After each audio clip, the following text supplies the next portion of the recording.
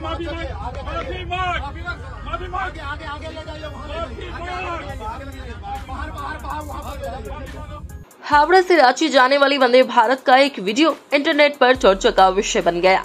दरअसल इस ट्रेन के कोच में वेटर ने गलती से बुज़ुर्ग यात्री को नॉन वेज फ़ूड सर्व कर दिया। यात्री को जब इसका पता चला तो वह भड़क गया और उसने वेटर को दो थप्पड़ जड़ दिए।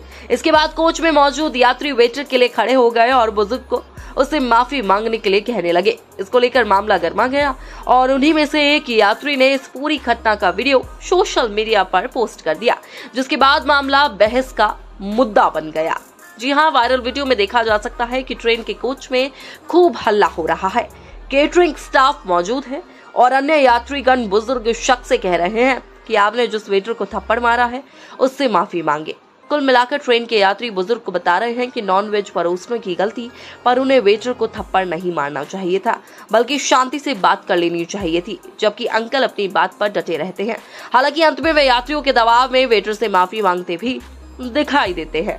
असल में ये video X user at the rate it's me Kunal zero seven ने सताईस जुलाई को शेयर किया। उन्होंने दावा किया था कि वंदे भारत पे गलती से नॉन वेज फ़ूड एक बुज़ुर्ग को परोस दिया गया। उन्होंने दिशा निर्देश नहीं देखे और खाना खाने लगे। शाकाहारी होने के नाते उन्हें एहसास हुआ कि इसका स्वाद मांसाहारी भोजन जैसा लग रहा है। ऐसे में वे आग बबूला हो गए और वेटर को दो थप्पड़ जड़ दिए।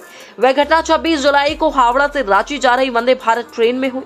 दरअसल ये दोनों video micro blogging site X पर एट द रेट घर के कलेश नाम के हैंडल से उनतीस जुलाई को पोस्ट की गई। उन्होंने कैप्शन में बताया पैसेंजर और वेटर के बीच वंदे भारत में क्लैश हुआ।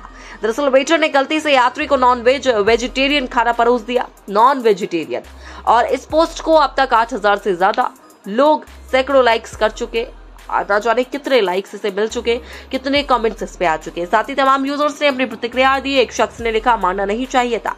दूसरे ने लिखा, ये बड़ी गलती है, ऐसी गलतियाँ नहीं होनी चाहिए। हालाँकि तमाम यूज़र्स ने कहा कि मानने की ज़रूरत नहीं थी, शांति से समझाया भी जा सकता था।